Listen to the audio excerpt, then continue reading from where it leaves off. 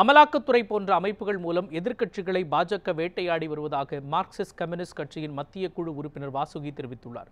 தூத்துக்குடி திமுக வேட்பாளர் கனிமொழியை ஆதரித்து அவர் தூத்துக்குடி மாநகர பகுதிகளில் பரப்புரை மேற்கொண்டார். அப்பொழுது பத்தாண்டு காலம் பாஜகவுடன் கூட்டணியில் இருந்துவிட்டு தற்பொழுது இவர்களோடு இல்லை என்று அதிமுக கதை சொல்லி வருவதாக அவர் சாடினார். ஆளுநரை வைத்து தேர்ந்தெடுக்கப்பட்ட அரசை பாஜக செயல்படாமல் செய்து வருவதாக குற்றம் சாட்டிய வாசுகி அமலாக்கத்துறை போன்ற அமைப்புகளை கையில் வைத்துக்கொண்டு எதிர்க்கட்சிகளை பாஜக வேட்டையாடி வருவதாக விமர்சனம் செய்தார். கார்ப்பரேட் நிறுவனங்களிடமிருந்து தேர்தல் பத்திரங்கள் வாயிலாக நிதி பெற்று பாஜக ஜனநாயக படுகொலைகளை செய்திருப்பதாகவும் இந்தியா கூட்டணிக்கு ஆட்சிக்கு வந்தால் பெட்ரோல் டீசல் மற்றும் சமையல் எரிவாயு விலை குறைக்கப்படும் என்றும் உறுதியளித்தார்.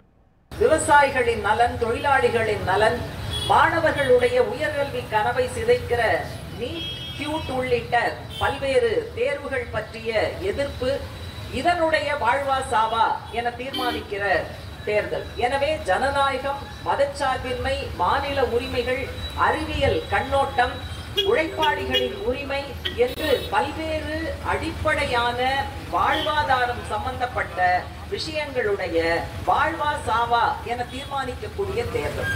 அதனால இந்த தேர்தலில் இந்த வேட்பாளரை பிடிக்கும் அந்த வேட்பாளரை பிடிக்கும் இந்த கட்சி நல்ல கட்சி அந்த கட்சி நல்ல கட்சி என்றெல்லாம் பார்க்காமல் அனைத்தையும் ஒதுக்கி வைத்துவிட்டு இந்தியாவினுடைய எதிர்காலம் நம்முடைய எதிர்காலம் பாதுகாக்கப்பட வேண்டும் என்று சொன்னால் இந்தியா கூட்டணி வெற்றி பெறுவதை தவிர நமக்கு முன்னால் வேறு தேர்வே இல்லை என்கிற தகவலை உங்களுக்கு முன்னாலே நான் பதிவு செய்ய விரும்புகிறேன்.